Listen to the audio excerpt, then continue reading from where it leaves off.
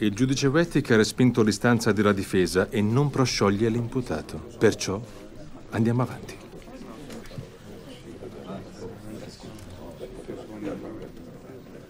Non è mia intenzione parlare male della vittima, però lei beveva, e molto. Aveva relazioni sessuali con uomini diversi e di conseguenza provocava in molti uomini reazioni violente. Non è vero. Era una persona che si metteva lei stessa in situazioni pericolose e accadeva di frequente.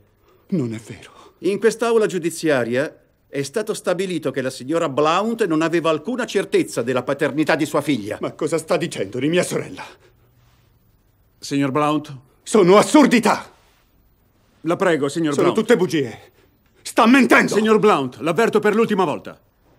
Ma lui non sa niente di mia sorella. Signor Blount. Voi, voi gli permettete di dire... Signor Blount.